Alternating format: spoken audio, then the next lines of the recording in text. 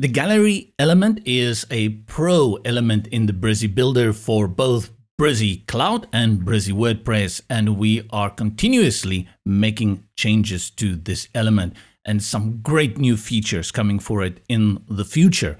At this moment, I want to just show you how you can go ahead and change the image's location within a gallery.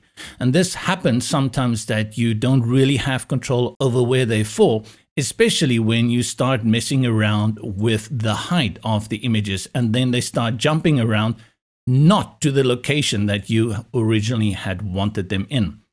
Now, this lady over here at the call center, let's say we wanted her at the very end of this gallery section. To do that, select the image that you want to move and you will see from the toolbar options, you have those two little chevrons, the one to the left and the one to the right and that's how you're going to move it. Select right, and there you go. Very easy. Let's say we want to move her over to the left. Click on this one, and we move. We keep moving.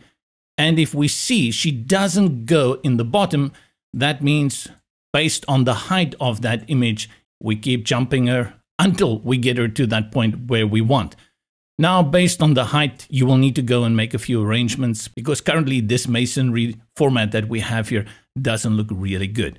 But this gives you control over where the images within the gallery falls if you needed to move them around.